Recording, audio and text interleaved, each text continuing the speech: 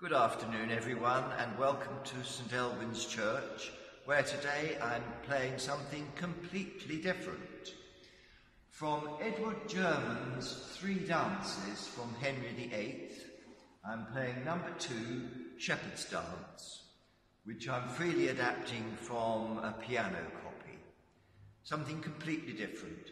Shepherd's Dance, Edward German, from his Three Dances from Henry VIII.